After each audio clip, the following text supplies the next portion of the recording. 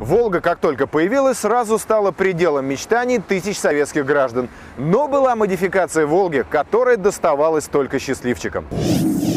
ГАЗ-22 «Волга» – универсал, привод задний, двигатель объемом 2,4 литра и мощностью 76 лошадиных сил. Трансмиссия механическая трехступенчатая, максимальная скорость 120 км в час. Средний расход топлива 15 литров на 100 километров. С 1962 по 1970 было выпущено около полутора тысяч машин. Автомобиль производился в Советском Союзе. В 60-е годы прошлого века 22-е выпускались исключительно для работы в государственных структурах, таких как скорая помощь и такси.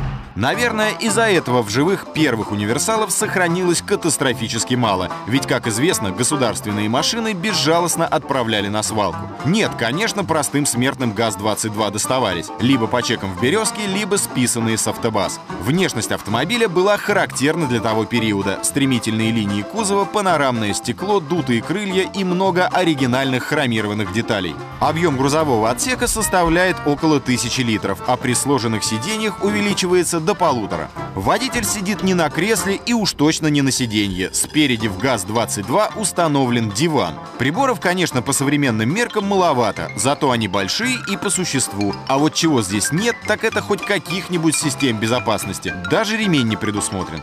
Пружинно-рычажный механизм подъема капота. Крайне удобно. Двигатель автомобиля «Волга» при надлежащем уходе служил верой и правдой своим хозяевам. Правда, при объеме 2,4 литра по сегодняшним меркам он очень медленно разгоняет машину до сотни за 34 секунды. Но в 60-х это был очень хороший результат. Подвеска играючи глотает такие неровности, которые пришлось бы объезжать на любой ныне существующей машине. В движении «Волга» больше напоминает лимузин, а не легковой автомобиль за счет задней рессорной подвески. Рукоятка механической коробки находится под рулем. Поначалу это непривычно, но привыкаешь быстро, тем более, что всего три скорости. Большой штурвал расположен вертикально, как на корабле, и в повороты машина не въезжает, а вплывает плавно и степенно. Из-за большого веса, барабанных тормозов и отсутствия каких-либо вакуумных усилителей машина останавливается долго и чинно.